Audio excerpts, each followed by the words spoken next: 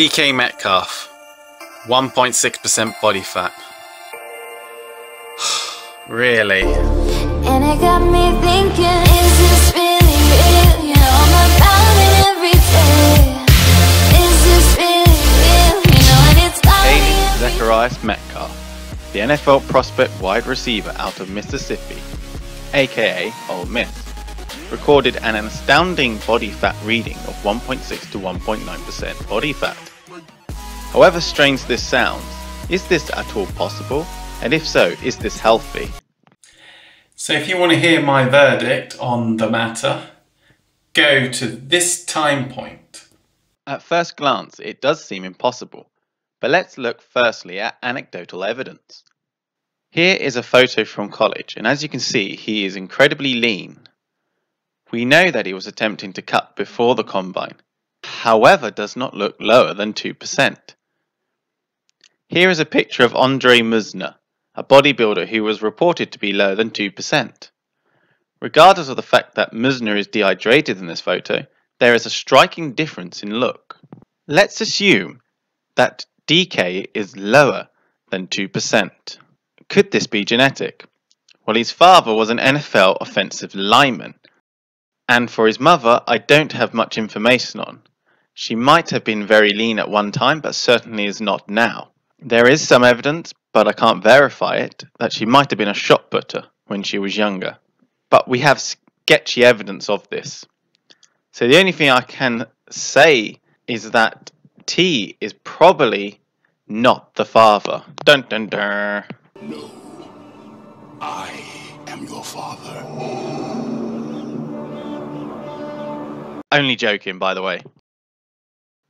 So let's talk about the methods used to measure body fat percentage. There are several techniques that can estimate body fat composition.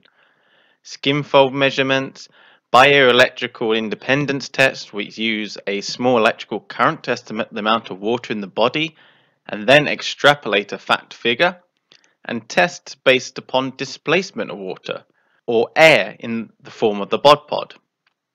How good are they? Well, the last method referenced, the bod pod to which the NFL uses, is probably the third most accurate method. Dual energy X ray absorption is the most accurate of the cheaper methods and is thought to be nearly as accurate as MRI or CAT scans at the moment.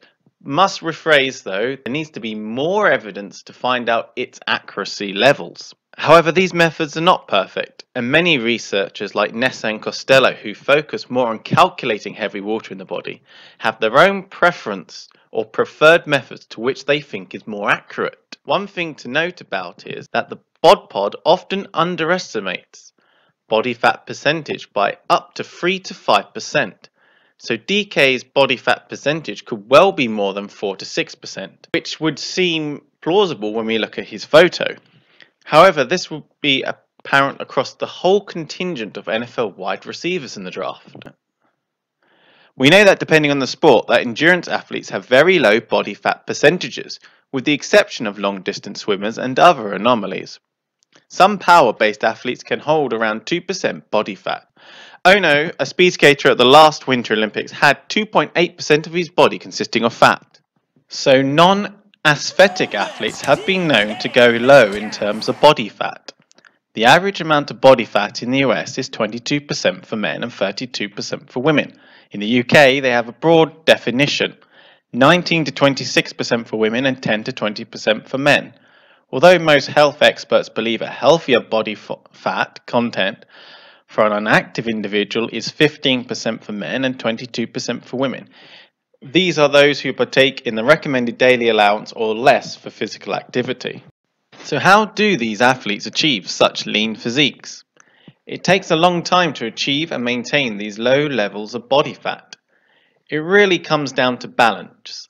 Energy in equals energy out. So there's two parts to this, caloric deficit and caloric surplus.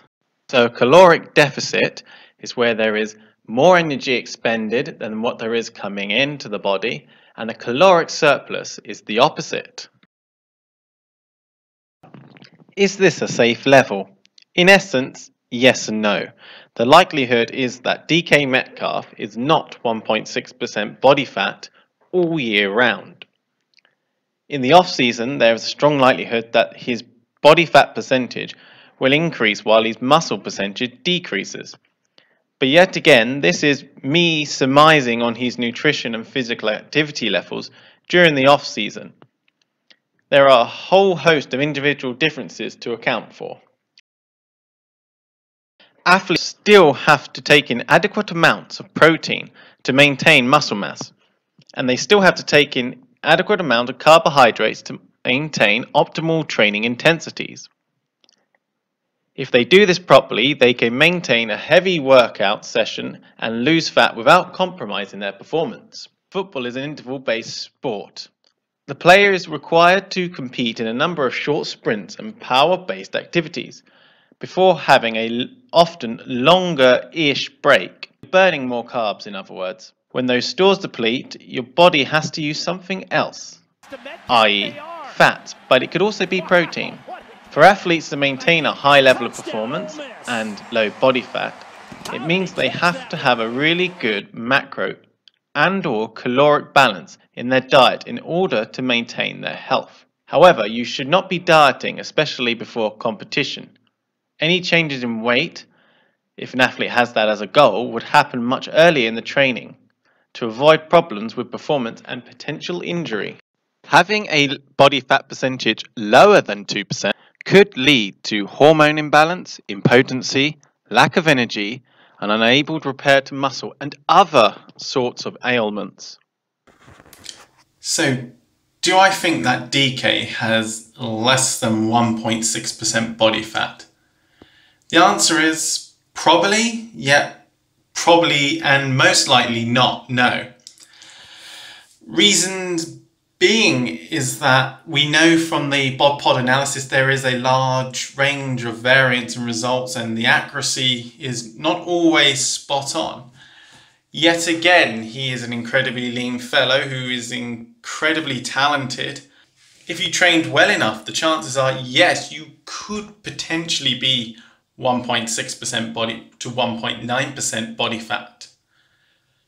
One thing we can say, I mean this in the best and most politest of sense, this guy is an absolute freak of nature in terms of his athletic ability.